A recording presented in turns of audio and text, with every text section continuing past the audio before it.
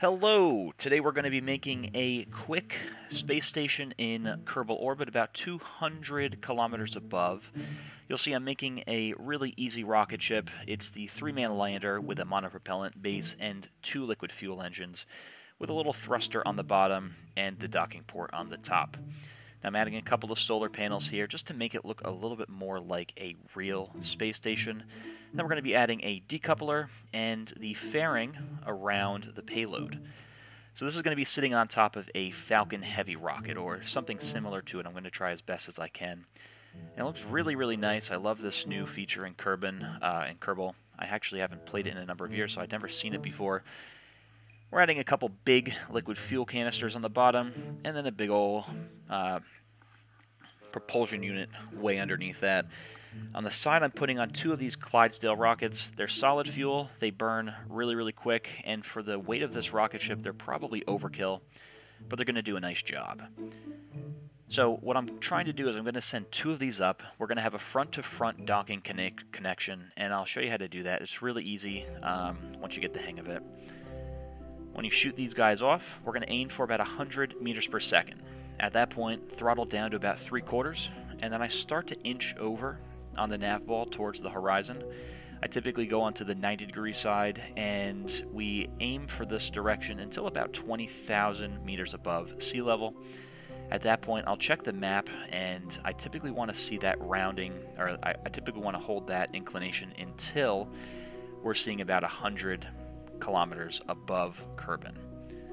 And that's where about where we hit it. But you'll see these solid fuel boosters give me a ton of delta V, so I'm actually going to let them burn out a little bit more, and I'll have a nice slow separation afterwards. I just love how that always looks, and they'll burn up in Kerbin atmosphere. We're going to add a maneuver at the tip of that apoapsis. I want to make sure the periapsis is going to be about the same size, and you'll see I forgot to put monopropellant on this rocket ship, so I'm going to actually use the built-in propulsion unit to get us to that maneuver node. It wastes a little bit of delta V, but you can see we have a ton to spare. Way too much for this mission, but sometimes overkill isn't a bad thing when you have an unlimited budget in Kerbal Space Program. So we're making about a one minute long burn. This is going to fill out that orbit nice and evenly. And after that, we've situated ourselves about 200 kilometers above Kerbin. The other spaceship I have is orbiting about 500,000 away. That used some radial docking ports. Today we're just going to be doing nose to nose. Very, very, very simple. And I'm just rounding out that periapsis again until we have about 200 on the apoapsis and the periapsis, and that's where I'm going to hit it. Now I'll have a nice decoupling of that payload. I love how that looks. Separated a little bit. I could have put a control module on the left on the rest of the debris so we can land that back into uh, Kerbin instead of having debris floating around. But it's just a sandbox mode, so I'll clean that up in the space station later. And I turned on the lights, but quickly realized that I don't have any batteries on this ship or monopropellant thrusters, so that was kind of silly of me. We're going to close we turned off the lights until we opened up the solar panels, and now we're good to go in orbit. Back to the space station. I'm going to be adding those little monopropellant thrusters on this one. I went with the small ones at first, but they are definitely too small. So I'm going to add some bigger ones instead. This will just help us line up. Now, on this kind of maneuver or rendezvous, we don't necessarily need it, but it will help. It is good just to have for realism's sakes. And we send up the second one hitting that thruster to about three quarters once we hit 100 meters per second, and we're going to bank it again until about 15 to 20,000.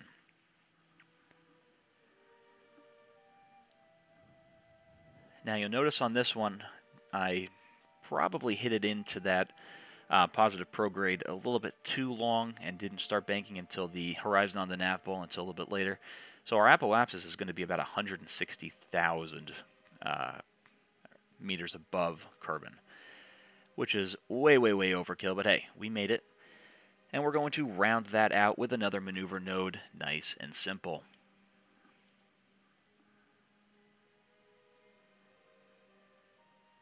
Very good there. Now the next step of this is we want to get both of these spacecraft into a very, very similar orbit in terms of its inclination and their um, how much of the orbit they share. So you'll notice after I get this into position, and I forgot to put monopropellant on the rocket, so we're using the thruster on the bottom to get us back into that proper maneuver node.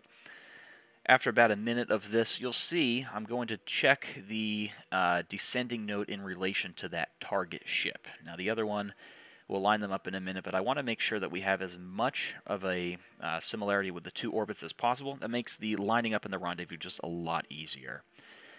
And we're setting it as a target, going to that descending node. You can see when I look at the orbit here, that blue line on my current is a little bit high. So I'm bringing it down until they're overlapping. Then I'm going to increase the prograde as well just to burn a little bit of our velocity up so we get into the orbit of the other one. Now I don't want the entire orbit to share because we need to catch up to it. So the fact that this one is a little bit closer in the periapsis means we're going to gain on the other one. And we blow out the fairings and the payload and off we go.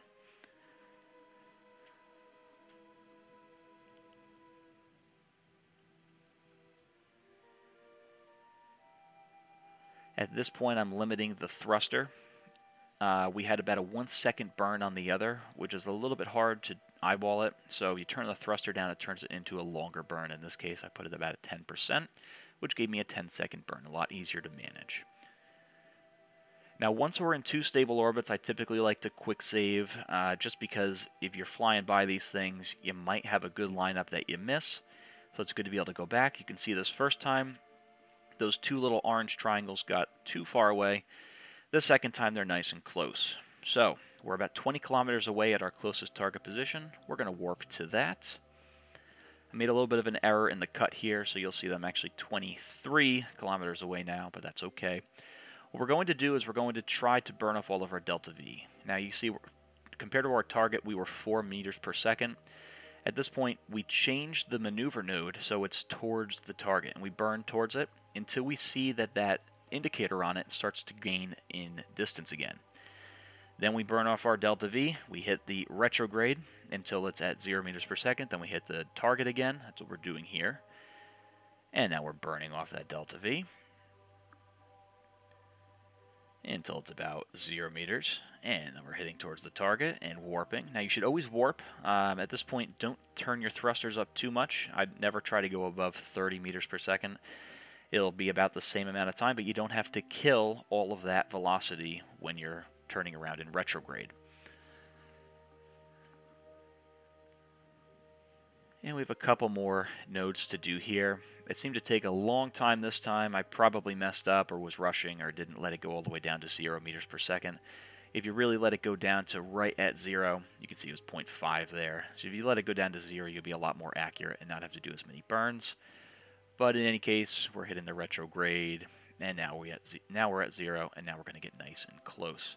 So I switched to the other uh, spaceship real quick, and I'm actually going to target the one that's approaching and then change its maneuver node so it is also facing its target. This makes it really, really easy to do a front-to-front -front docking because you know the other spacecraft is going to line up towards you. It won't do it while you're warping, but once you unwarp, you'll see it lining up.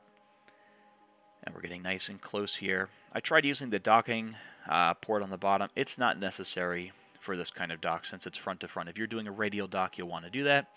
We're getting nice and close here, and once they pop into each other, oh, pressed Z. That's an accident. That was not necessary. Uh, so I sort of crashed into our other probe. I hit the wrong button, and we just had to burn that Delta V back off. Luckily, there was no damage. Um, it was slow enough. I think it had about 10 meters per second. It was slow enough that we didn't damage anything. But in any case, that was an accident. And here we go. We're going to tap once, and the second tap is going to align us. And there we are. We have our new space station, front-to-front -front docking. Now, I don't want us to mess up the orbital flight, so I'm turning off one of the rockets. I'm going to keep the one with the monopropellant on just because I think it's going to hold us more steady. Turn on the lights, and there we are. Easy as that. A nice front-to-front -front space station. Really, really simple to create. Um, both of these Kerbals can now go back and forth between their pods. We can leave one of them in flight. It has a lot of liquid fuel left. And look at this. Not necessarily what I was aiming for, but we have a nice solar eclipse to finish off the video here. Very, very nice. So that's docking in Kerbal. We have only used vanilla stock parts. I don't have any mods installed on this one. I will be getting some soon, but thank you for watching.